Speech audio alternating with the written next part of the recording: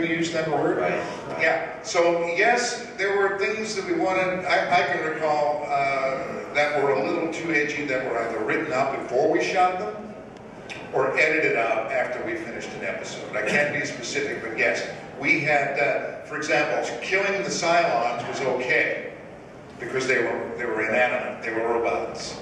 But if you notice, we could only, we could only kill so many hum, that the Cylons could kill only right. so many human Right. beings in a given episode. Yeah? Things were so politically correct back then, honestly. Uh, they, ABC, they were so afraid of alienating anybody.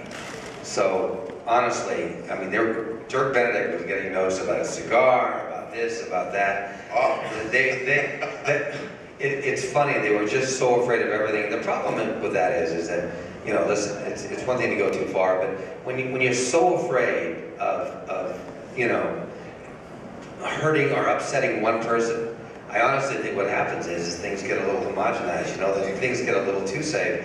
And I think because there had been a whole violence thing that happened, that's why Streets went off, because they thought Streets uh, of San Francisco was, was too violent for the time. And literally in the fifth year, uh, they had really come down really hard because of a few things that happened. And so they were really, really, really careful about too much violence in shows. And obviously, the pendulum swings up, it swings back. And of course, a few years later, there were shows that were three times more violent than, than that had ever been. So, but I think what we considered provocative back then, really now, with not even remotely. I've got a funny story about Dirk and his uh, womanizing and, and the, uh, call them censors, call it Starbuck and his woman, womanizing, not Dirk, okay? And the, uh, I won't call them censors, let's call them standards of practice, quote unquote. There was a scene, if you, if you all recall, Dirk would do things that weren't written when, when he was doing the, the, you know, the womanizing Starbuck.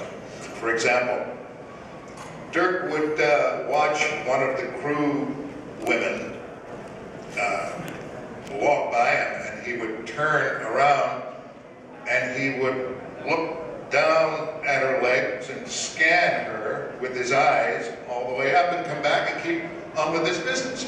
Standards and practices came to the university. You hear about that? Standards and practices came back into to uh, to uh, to Glen, and he, Glen uh, brought it to Dirk. And, Dirk, you got to stop looking at women's butts.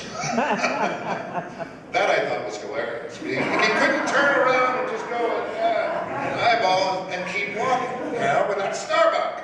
I looked at all the butts in between shows. and we had some really We butts on that show. Let me tell gorgeous you. women Ah, in the industry were on Battlestar Galactica. And thanks to Jean-Pierre Dorliac, they all wore these great outfits every day.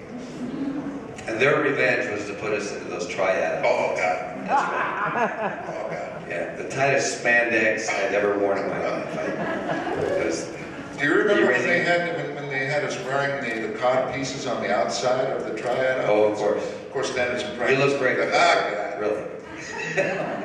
yeah. Speaking of the outfits, um, do you think it was um, coincidence that those elements looked like the master of uncommon? I mean, there was, there was really sort of a, Oh, no, no. You, you, you, in terms of, well, you know, like kind of a connection, insurance and gods, kind of a. oh, no, no, no, that absolutely was woven Sure. there. It's Oh, part yeah, of the the mythology of Egyptian- the show. See, I, I, I wish they'd got, not got rid of that. I mean, I love the Egyptian Mayan, you know, motif. Pyramids. Yeah, I love that. You're smiling over there in the yellow shirt. What are you thinking there? You're, Like that, everybody looks down. yeah, See what's going on over there with you? You're enjoying this way too much. Probably envisioning you and Maren Jensen or something, right? Right. Yeah, so are we all. Yeah. I actually, what? Yes. You know, you're talking about the new show.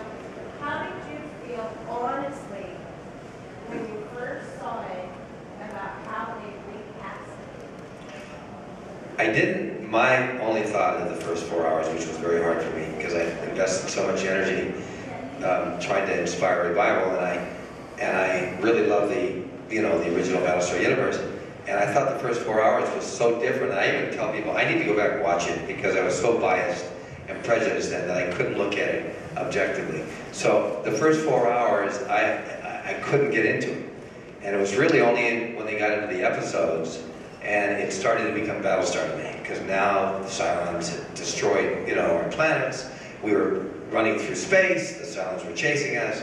We were trying to survive. It became Battlestar for me, you know. And, and that's when I slowly started to get into it. People always said, you know, you were working so hard to bring back Battlestar, and then you became a traitor because you went on the new show. And I thought, you know, it, it was never about being, you know, choosing sides. What it was is that I so believed in the original. And I thought that there's such a huge group of people out there that love this show because I traveled around the country, got invited to some conventions. I saw how many people loved this story, never forgot it. And I thought, why? They're bringing back everything else. CHiPs, they're bringing back CHiPs. Why are they not bringing back Battlestar Galactica? And then I thought, so often they bring it back and they destroy these things. And I thought, why don't they bring it back and build a new generation of our kids born in space, which creates some really great stories, right? And then have the original cast back and build a bridge between the past and the present and the future. And again, that's what made perfect sense. I think everybody agreed on that. But in this business, everybody kind of wants to do it their own way. And you know, they don't even want to be successful your way. They, they want to be successful their way. They'd rather fail their way than be successful your way. And that's just ego. And I get it. Listen, creative people want to do their own thing. So uh, I, I honor that. I respect that. I get that. And I realize I don't own Battlestar. So there are multiple ways to do it. And ultimately, you, the fans, are the ones that make the decision about everything, right?